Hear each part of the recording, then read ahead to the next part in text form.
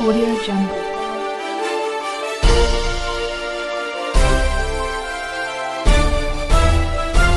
Audio Jungle.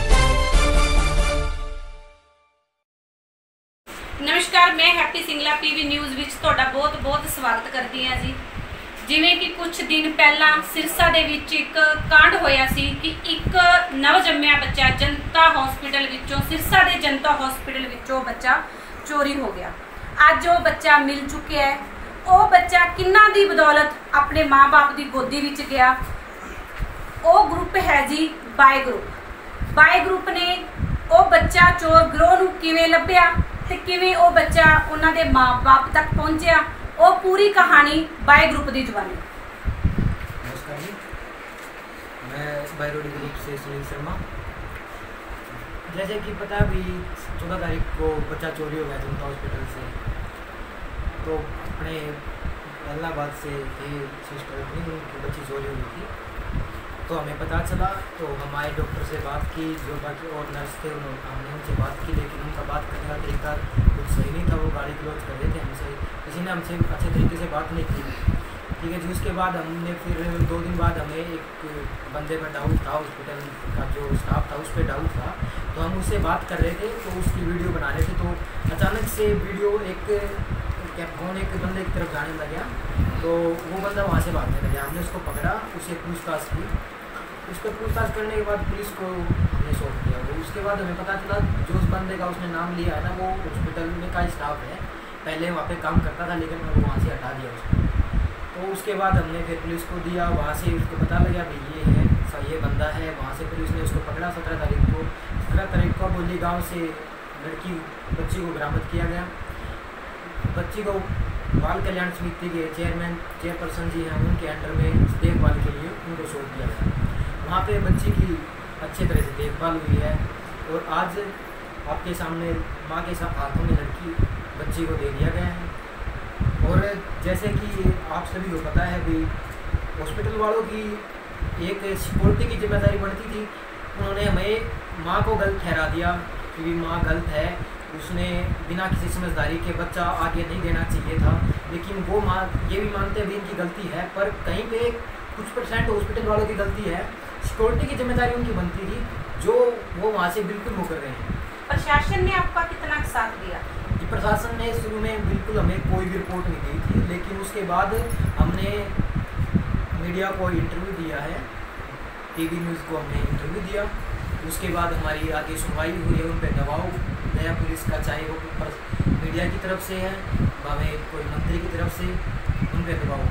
तब उन्होंने काम करना शुरू किया है, और आज हम तय दिल से शुक्रिया अदा करते हैं। चेयरपर्सन जी अनिता वर्मा जी का और बाल कल्याण समिति के पूरा स्टाफ का और मीडिया का बहुत बहुत धन्यवाद करते हैं ਹਾਂਜੀ ਸਰ ਤੁਸੀਂ ਵੀ ਬਾਈ ਗਰੁੱਪ ਨਾਲ ਜੁੜੇ ਹੋਏ ਹੋ ਬਾਈ ਗਰੁੱਪ ਦੀ ਬਦੌਲਤ ਅੱਜ ਇਹ ਬੱਚਾ ਆਪਣੀ ਮਾਂ ਦੀ ਗੋਦੀ ਵਿੱਚ ਹੈ ਤੇ ਕੁਝ ਸਵਾਲ ਜਨਤਾ ਹਸਪੀਟਲ ਦੇ ਸਟਾਫ ਤੇ ਵੀ ਉੱਠਦੇ ਨੇ ਵੀ ਇੱਕ ਔਰਤ ਦੀ ਡਿਲੀਵਰੀ ਹੁੰਦੀ ਹੈ ਲੇਕਿਨ ਕੁਝ ਸਮੇਂ ਬਾਅਦ ਉਹ ਬੱਚਾ ਚੋਰੀ ਹੋ ਜਾਂਦਾ ਹੈ ਜਿਸ ਹਿਸਾਬ ਨਾਲ ਡਾਕਟਰ ਸਾਹਿਬ ਦੇ ਨਾਲ ਗੱਲ ਕੀਤੀ ਗਈ ਉਹਨਾਂ ਨੇ ਵੀ ਮਤਲਬ ਪੇਰੈਂਟਸ ਤੇ ਵੀ ਕੁਐਸਚਨ ਉਠਾਏ ਨੇ ਤੇ ਉਸ ਦੇ ਨਾਲ ਨਾਲ ਉਹਨਾਂ ਨੇ ਮਤਲਬ ਸੂਤਰਾਂ ਤੋਂ ਇਹ ਵੀ ਸੁਣਨ ਨੂੰ ਮਿਲਿਆ ਵੀ ਬਾਈ ਗਰੁੱਪ ਨੂੰ ਵੀ ਉਹਨਾਂ ਨੇ ਬਹੁਤ ਜਲੀਲ ਕੀਤਾ ਹੈ, ਗੁੰਡਾ ਤੱਕ ਕਿਹਾ ਗਿਆ ਇਸ ਵਿਸ਼ੇ ਵਿੱਚ ਤੁਹਾਡਾ ਕੀ ਕਹਿਣਾ ਸਭ ਤੋਂ ਪਹਿਲਾਂ ਤਾਂ ਤੁਹਾਡਾ ਬਹੁਤ ਬਹੁਤ ਧੰਨਵਾਦ ਕਰਦੇ ਹਾਂ ਕਿ ਤੁਸੀਂ ਸਾਡੇ ਵਿਚਾਰ ਦੁਨੀਆ ਲੈਵਲ ਤੇ ਦਿਖਾਉਂਦੇ ਹੋ।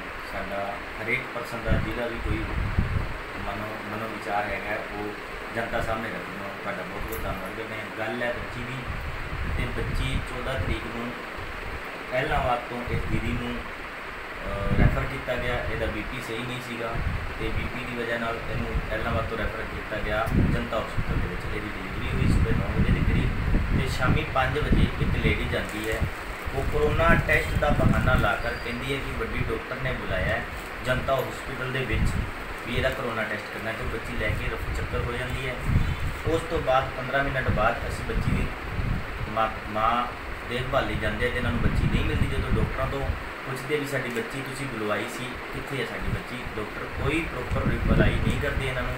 ਤੇ ਫਿਰ ਸ਼ਾਮੀ, ਉਹ ਸ਼ਾਮ ਨੂੰ ਵੀ ਅਸੀਂ ਐਫ ਆਈ ਆਰ ਲਾਂਚ ਕਰਾਉਂਦੇ ਆ, ਸਿਟੀ ਥਾਣੇ ਦੇ ਵਿੱਚ, ਤੇ ਮਾਤਾ ਜੀ ਜਾ ਕੇ ਬੱਚੀ ਦੀ ਕਰਾਉਂਦੇ ਆ।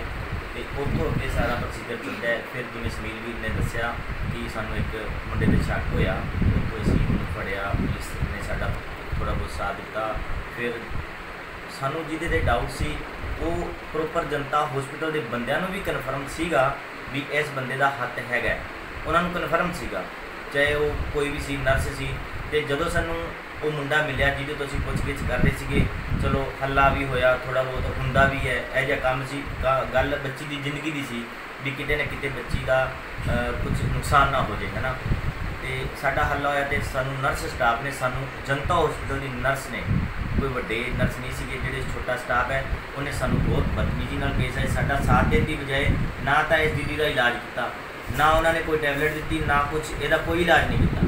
ਸਾਡੇ ਪ੍ਰੈਸ਼ਰ ਕਰਨ ਤੋਂ ਬਾਅਦ ਇਹਦੀ ਥੋੜੀ ਬਹੁਤ ਦੇਖਭਾਲ ਹੋਈ, ਉਹ ਵੀ ਵੱਡੇ ਡਾਕਟਰ ਨੇ ਕੋਈ ਥੋੜਾ ਬਹੁਤ ਸਾਨੂੰ ਸਪੋਰਟ ਕੀਤਾ ਵੀ ਹਾਂ, ਅਸੀਂ ਇਹਦੀ ਦੇਖਭਾਲ ਕਰਦੇ ਹਾਂ। ਅਦਰਵਾਈਜ਼ ਸਾਡੀ ਕੋਈ ਸੁਣਵਾਈ ਨਹੀਂ ਹੋਈ। ਉੱਥੇ ਨਰਸਾਂ ਨੇ ਸਾਨੂੰ ਗੁੰਡਾ ਤਕਾਤ ਕਿਹਾ ਵੀ ਤੁਸੀਂ ਇੱਥੇ ਲੜਾਈ ਦੰਗਾ ਕਰ ਰਹੇ ਹੋ।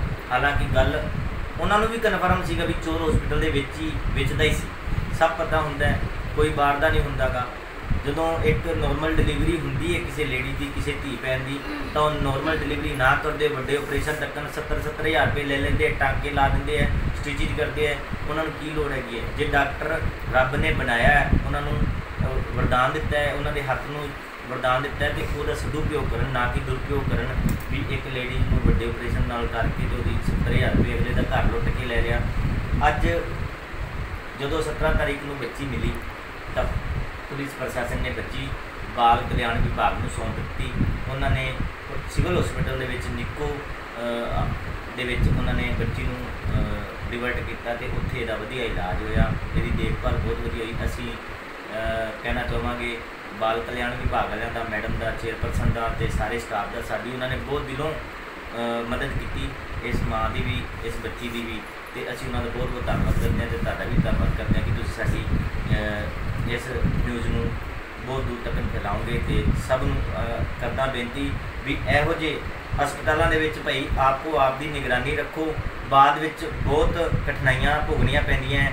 ਸਾਨੂੰ ਵੀ ਅੱਜ 20 ਦਿਨਾਂ ਬਾਅਦ ਅਹ, ਬੱਚੀ ਮਿਲੀ ਹੈ ਤੇ ਮਾਂ ਦੀ ਗੋਦ ਵਿੱਚ ਚੇਅਰਪਰਸਨ ਅਹ, ਬਾਲ ਕਲਿਆਣ ਵੱਲੋਂ ਸਾਨੂੰ ਬੱਚੀ ਸੌਂਪੀ ਗਈ ਹੈ ਤੇ ਅਸੀਂ ਉਹਨਾਂ ਦਾ ਵੀ ਬਹੁਤ ਬਹੁਤ ਧੰਨਵਾਦ ਕਰਦੇ ਹਾਂ ਤੇ ਤੁਹਾਡਾ ਵੀ ਦੂਰੀ ਵਾਰੀ ਬਹੁਤ ਬਹੁਤ ਧੰਨਵਾਦ ਕਰਦੇ ਹਾਂ ਸਤਿ ਸ਼੍ਰੀ ਅਕਾਲ ਬੱਚੀ ਮਿਲ ਗਈ ਸੀ हाँ आज मिल गई ये मेरे भाई ब्रो भाई है उनने दिलवाई है आज मेरे को ਖੁਸ਼ ਹੋ हाँ आज मैं बड़ा खुश हूँ कि मेरी बच्ची मिल चुकी है अभी तो सारे झूठ निकालते थे कि पता मैं तो झूठ में मानते थे आज मेरे को लड़की जब हाथ में आई तो मैं आज खुश है ਪੀਵੀ ਨਿਊਜ਼ ਦੀ ਪੂਰੀ ਟੀਮ ਵੀ ਬਾਈ ਗਰੁੱਪ ਦਾ ਬਹੁਤ-ਬਹੁਤ ਧੰਨਵਾਦ ਕਰਦੀ ਹੈ ਜੀ ਕਿ ਬਾਈ ਗਰੁੱਪ ਸਮਾਜਿਕ ਭਲਾਈ ਕਲਿਆਣ ਲਈ ਹਮੇਸ਼ਾ ਅੱਗੇ ਆਉਂਦਾ ਹੈ ਤੇ ਅੱਗੇ ਵੀ ਅਸੀਂ ਇਹੀ ਉਮੀਦ ਕਰਦੇ ਹਾਂ ਵੀ ਅੱਗੇ ਵੀ ਇਹ ਵੱਧ ਚੜ ਕੇ ਗਰੀਬਾਂ ਦੀ ਮਦਦ ਕਰਨਗੇ ਤੇ ਸਮਾਜ ਦੇ ਕੰਮਾਂ ਦੇ ਵਿੱਚ ਜੋ ਸਰਕਾਰ ਹੈ ਉਸ ਦੀ ਹੈਲਪ ਕਰਨਗੇ ਪੀਵੀ ਨਿਊਜ਼ ਦਿਲੋਂ ਧੰਨਵਾਦ ਕਰਦੇ ਹਾਂ ਜੀ। ਜ਼ਿਆਦਾ ਅਪਡੇਟ ਲਈ ਜੁੜੇ ਰਹੋ। ਪੀਵੀ ਨਿਊਜ਼ ਧੰਨਵਾਦ।